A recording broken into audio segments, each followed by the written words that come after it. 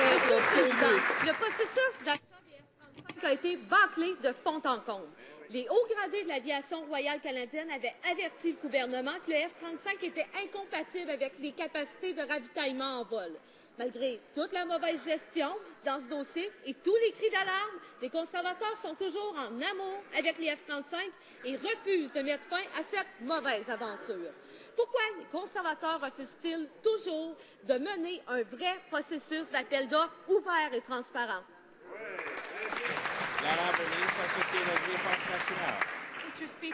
Monsieur le Président, l'aviation royale canadienne examinera toutes les options pour assurer le ravitaillement en vol. Le gouvernement a l'intention de maintenir une capacité stratégique de ravitaillement en vol, quel que soit l'avion chasseur qui soit choisi. Le secrétariat et euh, L'aviation examine toutes les options possibles et les exigences du Canada et le gouvernement informera les Canadiens une fois que la décision sera prise. Le député de Beaches East York. Monsieur le Président, été la chaise musicale dans ce dossier euh, pour ce qui est des ministres. Mais il y a une chose qui est constante, c'est l'incompétence. Les...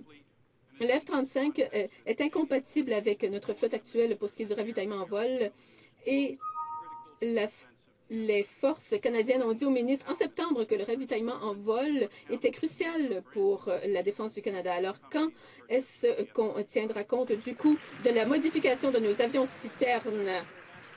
La ministre associée de la Défense nationale. Monsieur le Président, comme je viens de l'indiquer, l'aviation royale canadienne examinera les diverses options permettant le ravitaillement en vol, comme l'a indiqué le rapport de KPMG. Cela fait partie des options, ou plutôt de l'analyse d'options qui est en cours à l'heure actuelle, et nous allons maintenir une capacité stratégique de ravitaillement en vol, quel que soit l'avion chasseur que nous retenons. Le gouvernement remplacera les euh, F-18, les F-18 euh, vieillissant.